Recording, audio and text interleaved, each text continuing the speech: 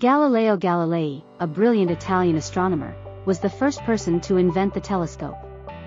His invention changed the way we see the universe forever. Galileo's telescope was a simple yet powerful device that allowed him to observe the heavens in a way that had never been done before. With his telescope, Galileo discovered many new celestial objects, including the four largest moons of Jupiter, which are now known as the Galilean moons. Galileo's observations also confirmed the heliocentric model of the solar system, which placed the Sun at the center instead of the Earth. Despite the controversy surrounding his findings, Galileo's telescope paved the way for modern astronomy and our understanding of the universe.